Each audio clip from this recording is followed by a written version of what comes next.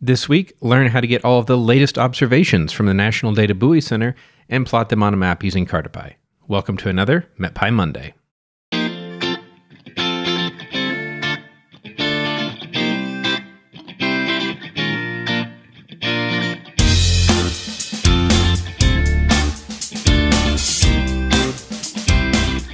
Hello, I'm John Leeman, a software engineer at Unidata. On this week's MetPy Monday, I want to expand on what we did last week talking to the National Data Buoy Center simple web service using Siphon.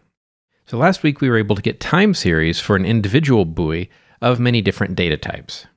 Today, we're going to get the latest observations from all of the buoys. This is a file that the NDBC updates about once every five minutes, though many of the buoys that we'll be looking at only update every 15, 30, or 60 minutes.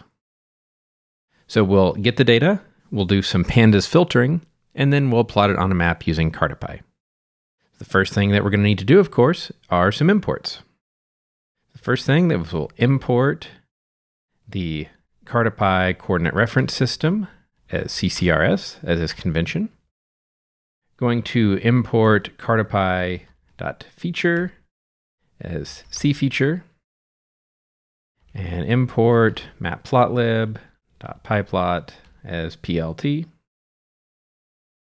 Then we're also going to from siphon simple web service .ndbc import ndbc. And then of course we'll use our matplotlib inline magic. And we need to make sure that we have that spelled correctly. There we go. Now remember we get these warnings that are coming from other places in the ecosystem right now. They're fine. Now we need to get the data. This is just a one-liner. ndbc dot latest observations. Remember a tab there will save you some typing. We'll open and close parentheses. And this is going to return a pandas data frame. So we'll see what's in that data frame with df.head. Now if we look at what we've got here, we have generally the atmospheric parameters that we would expect, as well as things like water temperature.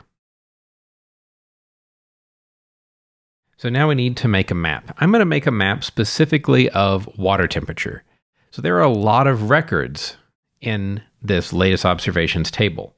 In fact, if we change head to tail, we see there are 805 records here. I'm going to go ahead and drop all of the observations that do not have water temperatures. The way we do that is by df dot drop in a for drop not a number. The subset that I want is anything that does not have water temperature. And then I'm going to say in place equals true to avoid having to reassign df equals. Okay, so now that's done. Now we have gotten rid of all the observations that do not have water temperature in them. So now we need to go ahead and start making our map. The first thing we need to do is settle on a projection. In this case, I have chosen to use the Lambert conformal projection. You could use whatever projection you wish if you want to use Mercator or Robinson or any of the projections that are available in Cartopy. So I'm going to say proj equals ccrs dot Lambert conformal. And if you forget what parameters this uh, particular projection takes, you can always hit Shift Tab. And we can see in this case, I'm going to provide a central latitude, a central longitude, and some standard parallels. So my central latitude is going to be 45. My central Longitude is going to be minus 100.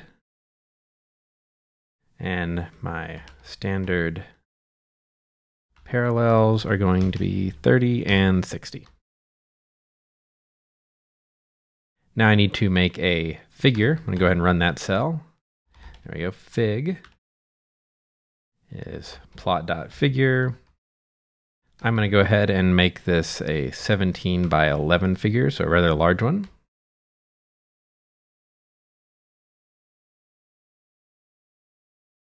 Get an axes object. We're going to specify that our projection is proj that we just made. I'm going to add coastlines. And in this case, I'm going to use the 1 to 50 million resolution. And I want them to be plotted as a black outline. Then we'll add a feature. And we will use cfeature.ocean. And I'm going to use the with scale method here, which we've talked about in previous MetPy Mondays, again, to get the 1 to 50 million resolution. And we will add land. Same story. Okay, I'm going to set some map bounds using set extent. I'm going to specify these not in projected coordinates because I don't happen to know the Lambert conformal coordinates for my map bounds, but I do know the Latin lons, which would be Plate Carree.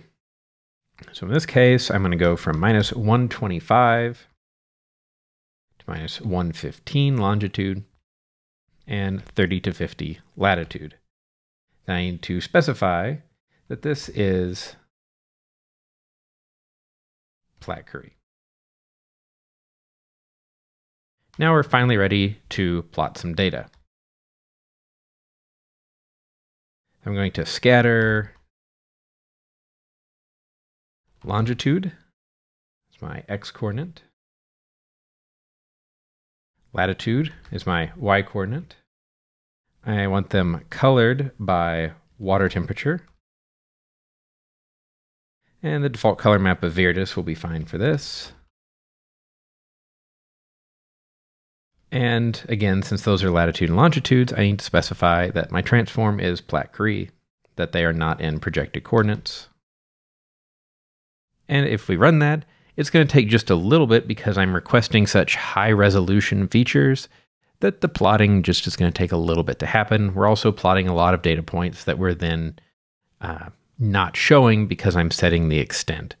So we could do some more filtering on the data and so on to not have to plot all of those points if we wanted to speed this up a little bit. Okay, now we've got our plot. And you can see there are a few inland buoys that are on rivers and other bodies of water. Most of them are out here in the ocean along the coast. So we're looking at the California coast here, and you can see, as you would expect, there is a temperature gradient from warm to cooler waters as we go from low to high latitudes. We could, of course, dress this map up some, change color tables, change markers, plot other data, but this should give you an idea how to get the latest data and make a map with it to see what the state of the oceans are right now. I hope that you found this useful, and I'll see you on next week's MetPy Monday.